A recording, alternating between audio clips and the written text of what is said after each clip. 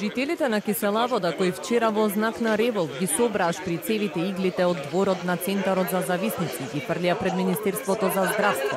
За ваквиот потек експресно биле санкционирани и си платиле казна. Истовремено пак никој не одговара ниту пак е казнет за медицинскиот отпад кој непрописно со години се расфрла околу центарот за зависници каде во близина има и училиште со деца, реагираат жителите. Како може 20 години овде нас да ни фрлаат ѓубре, шприцеви игли, нашите деца да се боцкаат, еден феник ги немаат казнато, одма вчера наш, нашиот сограѓанин што го истори сметот 50 евра мандата казна. Значи не е проблем за 50 евра, ние собравме парите си ја платиме. Меѓутоа нема нема закон. Како може? Едноставно не ми е јасно. И никој не не прашува тука бе 20 години. Тоа е проблемот.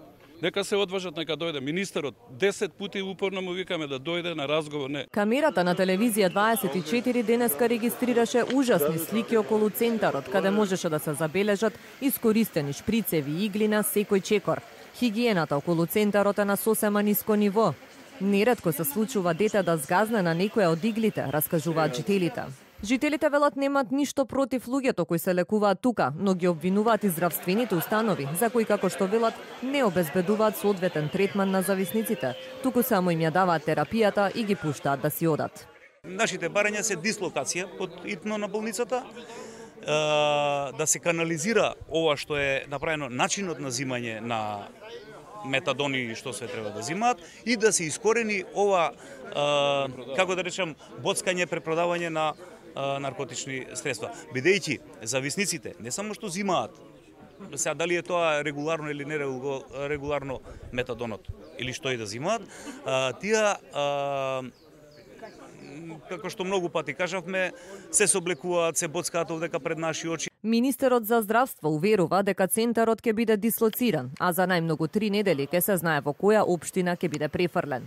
Филипче тврди дека новата локација ќе биде подалеку од населените места. Бараме две нови локации, односно интензивно ги разгледуваме, кои што очекуваме да нема реакција заради тоа што се навистина подалеку од Куки и се.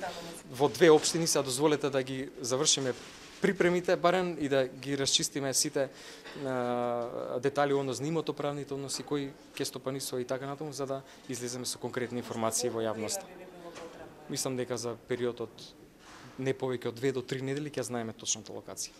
Дислокација на Центарот здравствените власти најавија уште пред две години. Последната одлука Центарот да биде префрлен во општина Газибаба Најден отпор кај тамошните жители, пошто одлуката беше повлечена и Центарот повторно остана во Киселавода. Жителите на ова општина денеска порачаа дека нема да се откажат од протестите, се додека Центарот не биде дислоциран.